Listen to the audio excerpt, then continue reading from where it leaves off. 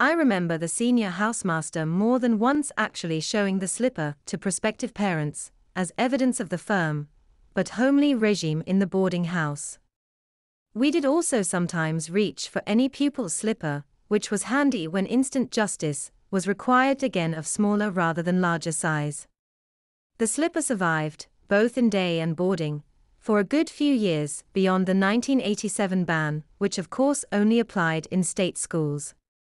We phased out the rather random and casual use by staff in classrooms and changing rooms, limiting it to two or three specific staff who would apply it in their office.